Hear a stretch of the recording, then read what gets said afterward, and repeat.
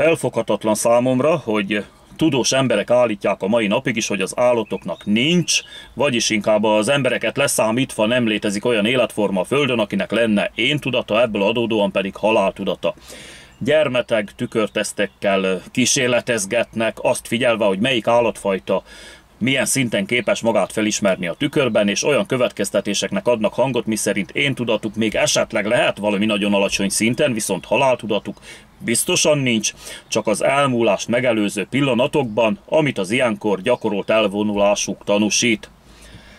Én nem vagyok tudós ember, de az én szerény véleményem szerint pedig az ember semmiben nem különbözik a többi emlőstől, leszámítva a bonyolult hangképző szerveket és az írásbeliséget lehetővé tevő kezeket a szembefordítható hüvelyk ujjakkal, amelyeknek köszönhetjük az ismeretek megörökítésének lehetőségét és az így felhalmozott tudást.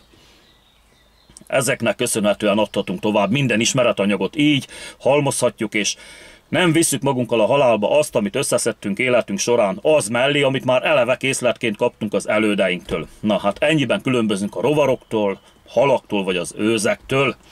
Erről egyébként hosszabban is beszélek a 229. videómban, de be is linkelem a leírásba, ha esetleg érdekel valakit.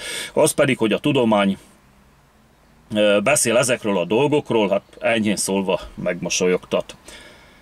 Gondoljunk csak bele, ha nem lenne én tudata az állatoknak, hogyan törekedne a fajfenntartásra, hogyan húzna a saját fajtájához, hogyan tanúsíthatna szeretetet vagy ellenséges viselkedést, mivel magyarázzuk például a kutyák vagy a macskák sértettségét.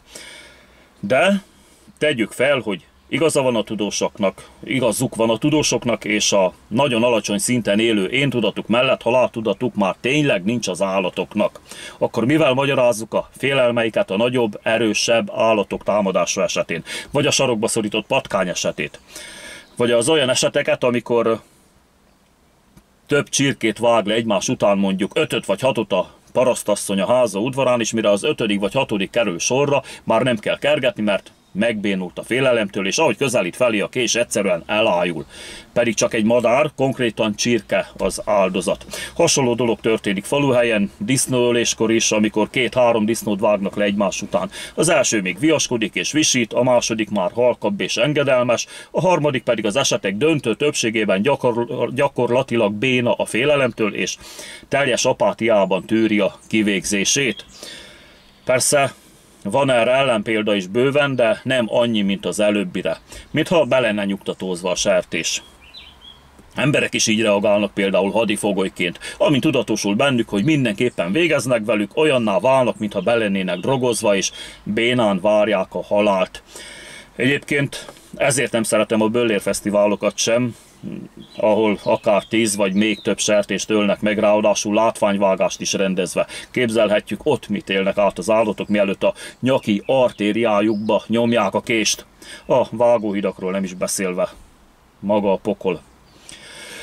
Az első megussza azzal, hogy nem tudja, mi következik, a többi pedig sokkos állapotban várja a kést. A lényeg, hogy nem csak én tudatuk, de haláltudatuk is van az állatoknak. Ne tévesszel meg senkit azt, hogy nem tudják elmondani, lerajzolni vagy leírni a gondolataikat, érzelmeiket. Az ember, mint emlősfaj semmiben nem különbözik tőlük.